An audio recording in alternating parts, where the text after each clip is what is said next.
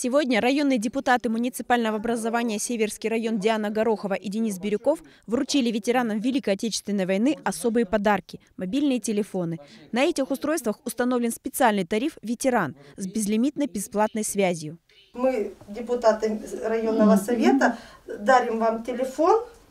Э, Здесь будет написано, какие здесь номера телефонов уже там вбиты. Там, там стоит сим-карта и 300 минут бесплатных э, на других операторов.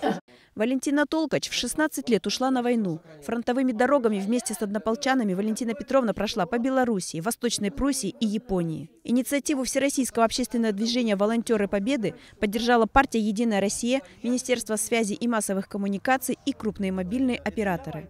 И дай Бог, чтобы вы в своей жизни не видели то, что сейчас пришлось нам видеть. Чтобы все было хорошо, чистое небо вам надала мужчина. Спасибо И большое. вашим деточкам.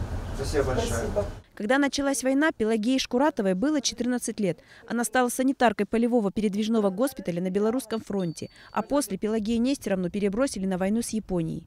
Теперь наши ветераны смогут в любой момент связаться с родными и близкими.